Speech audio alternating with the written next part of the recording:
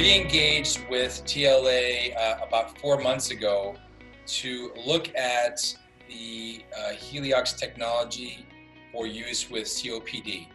And we looked at the technology and its, its clinical use in COVID patients. We retooled the company, we licensed the technology, and we're currently going full bore to take this to market.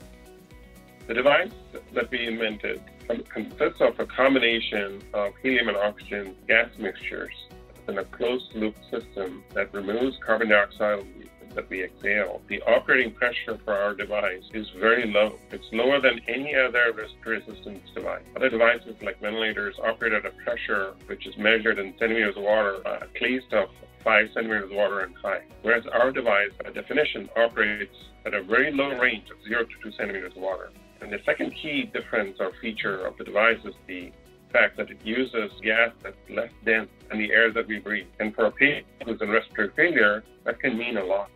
The advantage of our device is a completely closed system. And what it does is it prevents any secretions or infections or airborne particles from being released into the atmosphere.